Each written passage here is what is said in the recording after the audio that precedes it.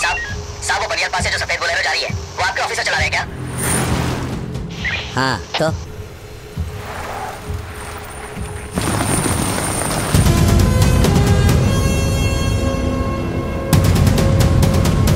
अपने ऑफिसर को तुरंत वापस बुलाइए।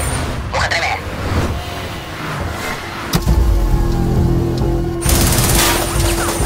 हाँ ठीक है ठीक है। क्या ठीक है मतलब मतलब जो ऑफिसर खतरे में है वो खुद ही एक खतरा है।